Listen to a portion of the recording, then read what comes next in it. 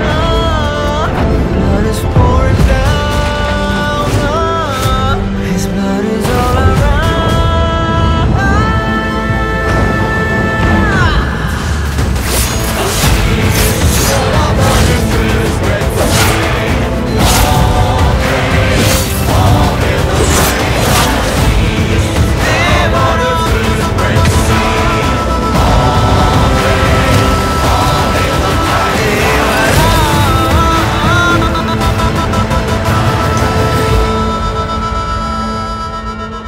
ಸಮುದ್ರ ಮೀನುಗಳಿಗಿಂತ ಕತ್ತಿನ ರಕ್ತನ ಜಾಸ್ತಿ ನೋಡೈತೆ.